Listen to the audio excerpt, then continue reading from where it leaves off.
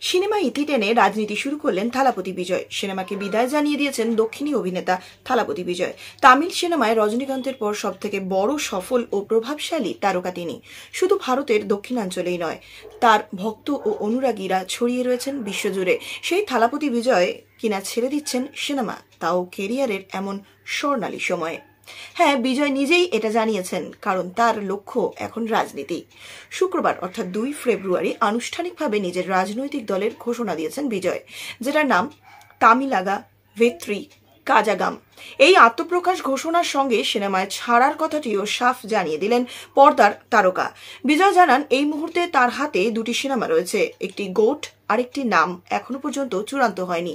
প্রথমটির কাজ ইতিমধ্যেই শেষ।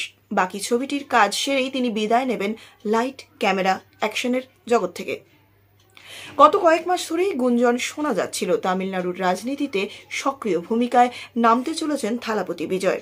অবশেষে সেটাই সত্যি হলো। তবে প্রতিষ্ঠিত কোন দলে যুক্ত না হয়ে নিজেই তার আলাদা দল গড়ে চমকে দেখালেন সকলকে।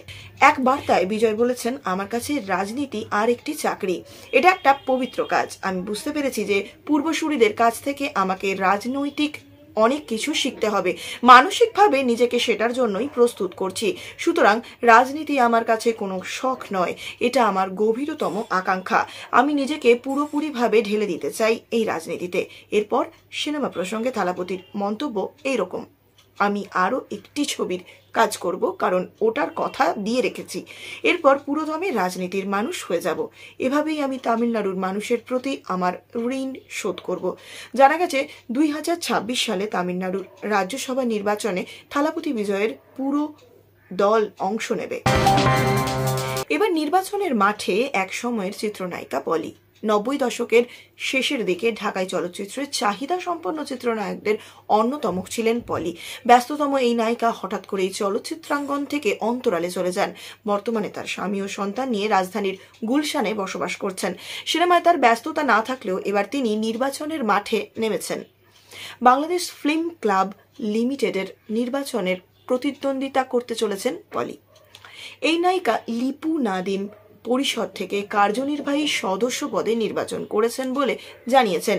আগামী ষোলোই ফেব্রুয়ারি অনুষ্ঠিত হবে এই নির্বাচন।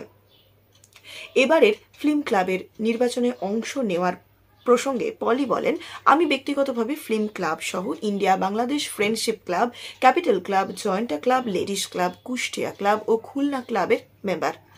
ক্লাব কালচার আমি খুব এনজয় করি। আর যেহেতু ফিল্ম ক্লাব আমাদের চলচ্চিত্র সংশ্লিষ্ট লোকজনের প্রতিষ্ঠান।